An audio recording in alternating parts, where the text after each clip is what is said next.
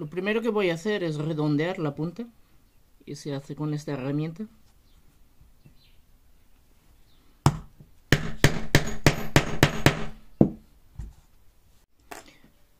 Ya que hemos cortado la punta, ahora procedemos a preparar eh, con el sacabocado el agujero donde va a ir la villa, la anilla y más tarde el pasador.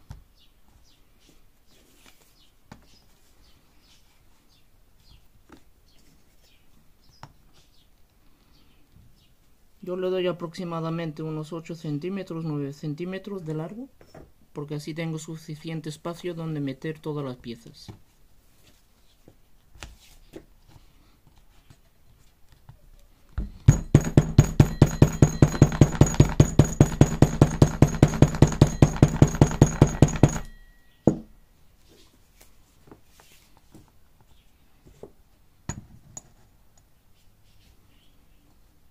Ahora con esto puedo medir el centro. Lo marco.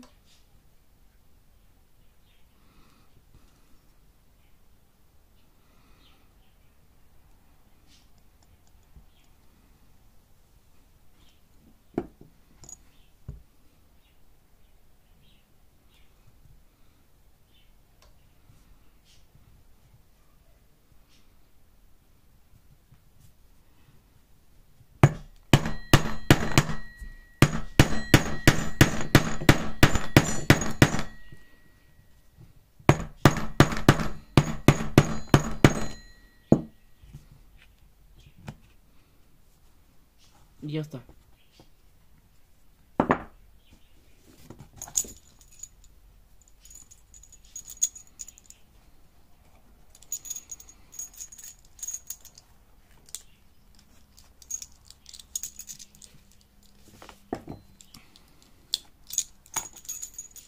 Ya tenemos la pieza preparada.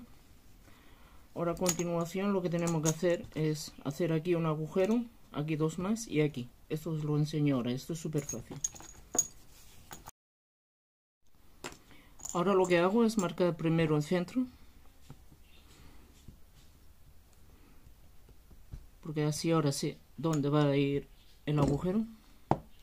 Cojo el saca bocados.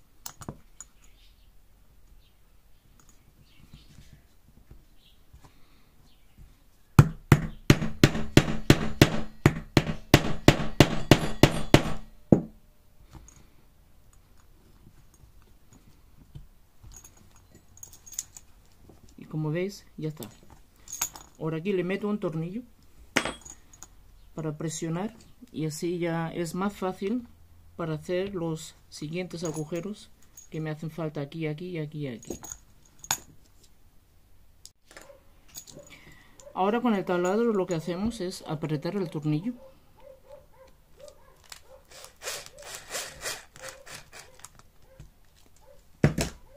y así ahora es mucho más fácil de colocar aquí los siguientes tornillos.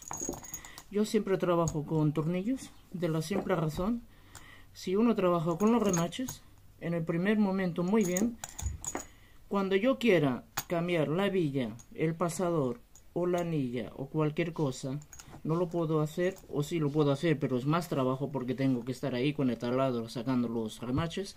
Y así de esta forma muy simple abro, quito las piezas que quiero o hago el arreglo que es necesario, pongo los tornillos otra vez y ya está. Ahora vamos a preparar el pasador con el pedazo de cuero que ya os he enseñado antes. Esto también es muy fácil. Para que tengamos la, la medida correcta se hace de la diferente forma. El collar, se coge otro pedazo de cuero, se pone encima, lo pasáis por abajo y así podéis coger la medida exacta.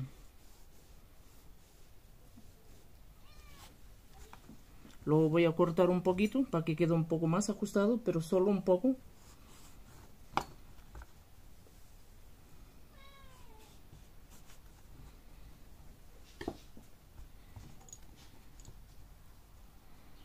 Sí señor, así ya queda mucho mejor. ¿Qué es lo que se hace ahora? Lo podéis coser yo hago esto este collar es para mí lo que hago es grapar.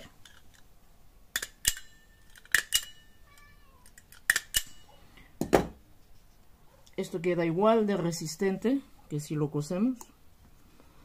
Ahora lo que hago es por dentro machacar los las puntas.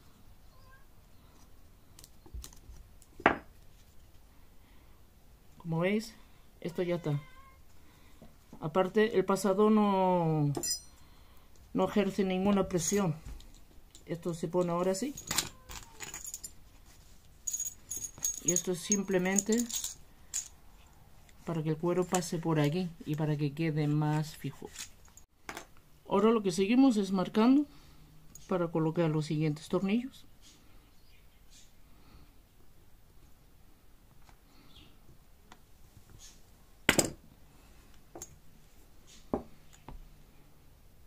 Y ahora con el sacabocados, igual que antes, hacemos los agujeros.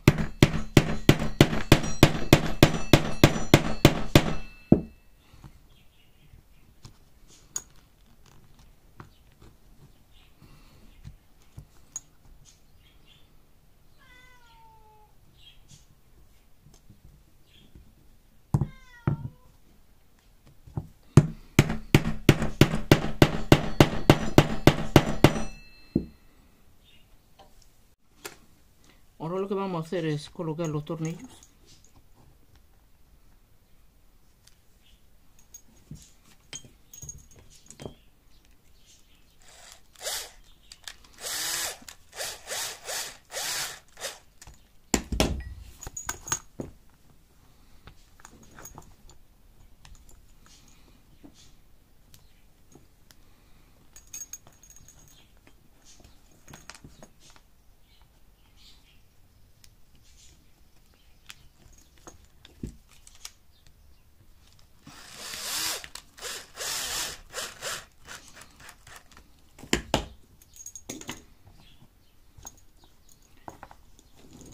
Colocamos la anilla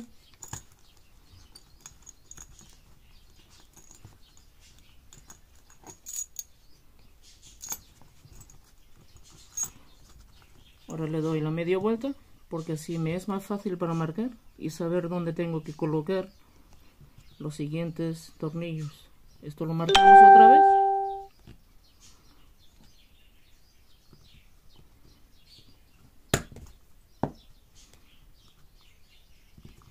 igual que antes hacemos los agujeros y ya está. Esto como podéis ver ya está. Ya le hemos colocado la villa el pasador y la anilla con sus tornillos. Como ya he mencionado si queremos cambiar algo arreglar se abren se cambia y ya está así de fácil